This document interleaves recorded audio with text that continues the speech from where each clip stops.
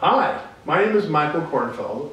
I am the corresponding author for the paper that you're about to read entitled Review of External Ocular Compression, Clinical Applications of the Ocular Pressure Estimator.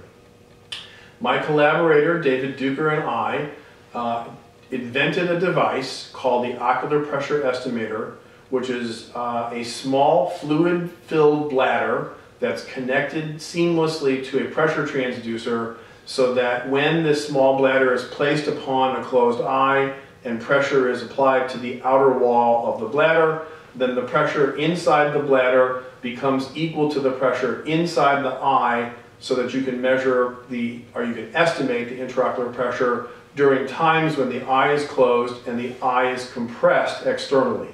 There's currently no devices that are able to do this.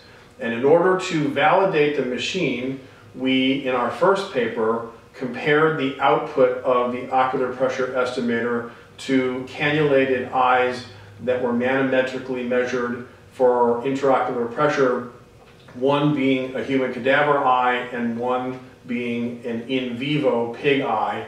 And the measurements that were obtained with the ocular pressure estimator for a range of pressures from a being between 10 and 100 uh, was within 5% of a cannulated eye.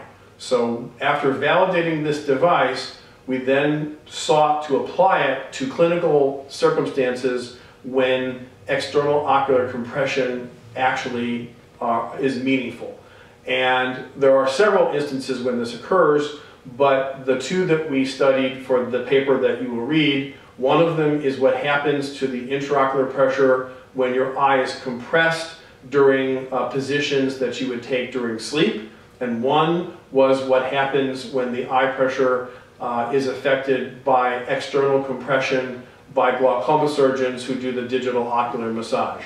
So in this paper you will learn that the intraocular pressure experienced by people when they put their eye uh, onto a pillow is actually uh, surprisingly high while the eye is in certain positions and then it's relieved when the person assumes a different uh, position.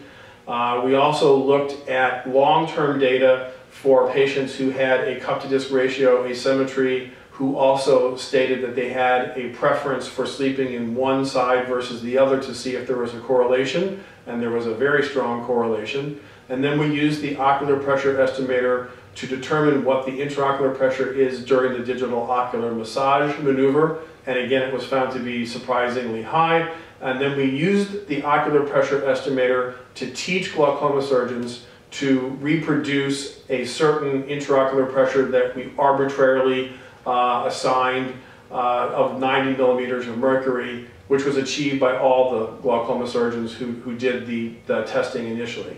And using the ocular pressure estimator, we were able to cause the variability in the measurements to become much smaller.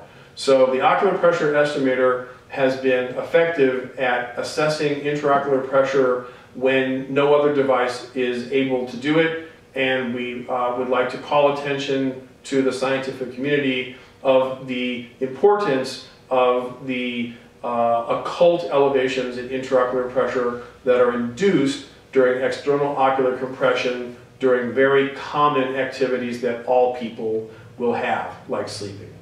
Enjoy the paper. Thank you very much.